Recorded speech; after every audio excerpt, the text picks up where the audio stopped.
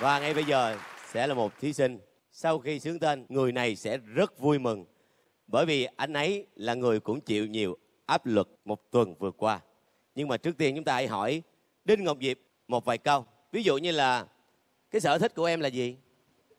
Là nói chuyện với anh Em đam mê nói chuyện với anh đến thế à?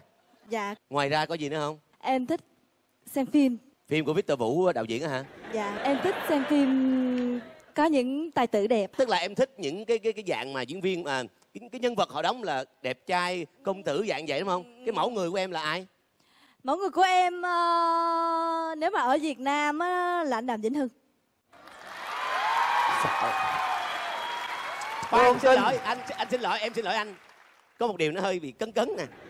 Em thích những người đẹp trai, cao rồi. Em thích Đẹp trai, cao ráo, được nhiều người yêu biết. hoa, phong nhã Ở điểm nào mà anh Hưng không có Giang, anh cao hơn em đó.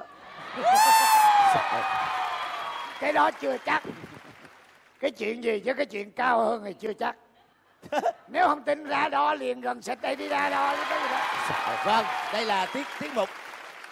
Bỏ giày Em ra. cởi về, em cởi về, em cởi về. Trời ơi, độ miếng nữa kìa. Không có cái này để cho nó, nó cứng. Đây là chương trình làm nhục nhau trên sóng truyền hình. Có đó anh. Có cao đúng không? Hai người bằng nhau Hai người bằng nhau đúng không ạ Vâng Xin cảm ơn anh Hưng thôi mà đứa nào cũng mét sáu bảy mà làm nhục nhau chi Ngày 65 mà. Ê mà chân em dài hơn anh Linh. chân em dài hơn. không cái đó rõ ràng Tôi khổ ghê thiệt. Tất cả lỗi của em á gì bà? Em em em thích Em thích anh, em yêu mến anh Muốn nói chuyện với anh, anh không chịu Em hâm mộ Đàm Vĩnh Hưng, anh cũng không chịu Bây giờ anh muốn gì Anh chỉ cần nhìn thấy nụ cười của em thôi. Và bây giờ thí sinh tiếp theo Đó chính là anh Quang.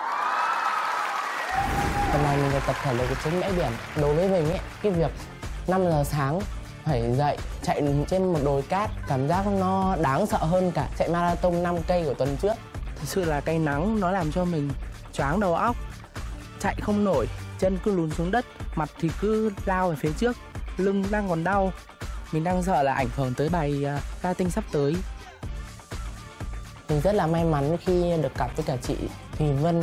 Chị Thùy Vân thì là người hiền lành. Có một vài lúc như kiểu mình bị lơ là thì chị ấy chỉ nhắc mình Vân cũng không muốn trở thành một ờ, bà cô già mà khó tính hay chửi rủa này nọ nhưng mà cái sự lơ là không tập trung của anh Quang xảy ra rất là nhiều làm Vân rất là nó rất là kiềm chế mà cũng phải nhiều lần phải cáu giận với anh Quang cơ thể của mình là đang có, có triệu chứng là đang giảm rất chậm và đang chững lại thì nếu mà muốn giảm cân ở trong tuần này thì mình phải tập luyện gấp 2, gấp 3 lần các tuần trước thì mình mới có thể ép được xuống cân.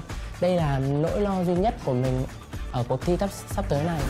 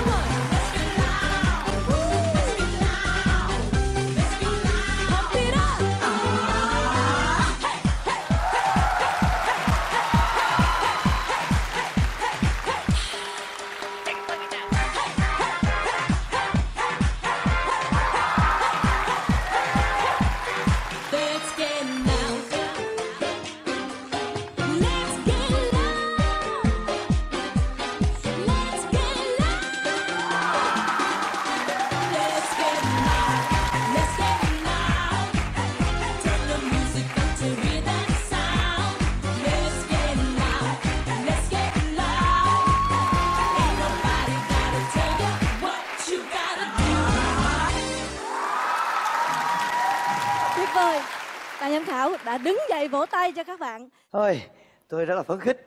Tôi xin được nói trước. Tôi đã thấy được cái cái bụng thon gọn của anh Quang thẳng hơn và đỡ nặng nề hơn rất là nhiều. Đây là cách nhảy mà tôi thích nhất trên một cái bài hát rất được người yêu thích như vậy.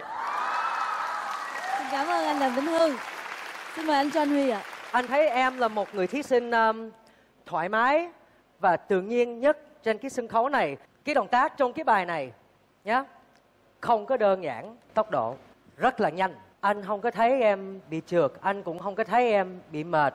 Cái tốt nhất là em đang rất là vui vẻ trên cái sân khấu này và em làm cho cho tất cả mọi người cũng vui vẻ và chúc mừng em xin cảm ơn anh nay á chú hoàn toàn thấy con nó rất là gọn gàng những cái bê đỡ của con những cái động tác khó.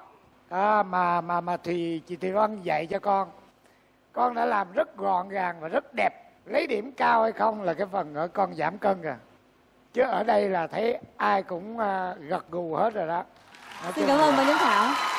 Và sau đây là số điểm đầu tiên từ anh Đàm Vĩnh Hưng.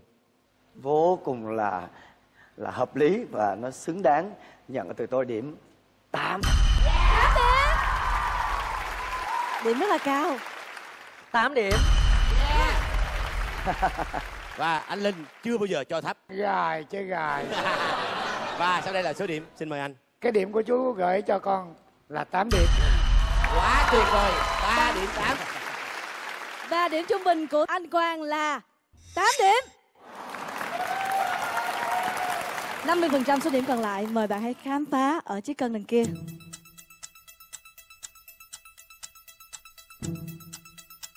Số cân cũ là 77,9 cân. Cân nặng hiện tại 75,8 giảm 2,1 cân Tương đương 2,7% Và điểm của bạn trong tuần này là 10,7 điểm Chúc mừng.